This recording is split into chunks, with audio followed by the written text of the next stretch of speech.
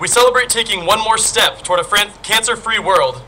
And we celebrate coming together at this awesome event called Relay for Life.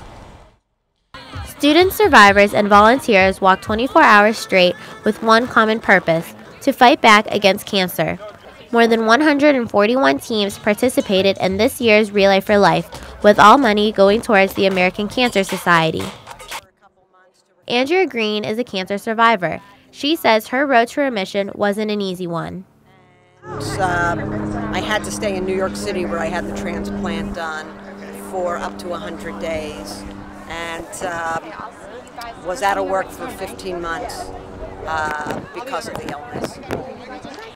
1,400 participants are taking part in this weekend's Relay for Life and hopes that one day they will find a cure for cancer. Many have set up tents where they were able to bring food, water, and anything else that they might need for the 24 hours beginning 5 p.m. on Friday to 5 p.m. Saturday. And at that campsite, that's where you'll spend a majority of your time so you can bond with your team while some of your teammates are doing the walking. Many students take this time to bond with friends, but for sophomore Adam Browse, relay means much more. His mother was recently diagnosed with thyroid cancer. You know, finding out made it a whole, a whole different experience for me. Just like you know, having a family member um, be diagnosed with something I never would have happened, would happen to me, and like it's not really a huge deal, but at the same time, it does make a big difference. So like, the fact that I do participate in the thon and relay means a whole lot more than how that did before.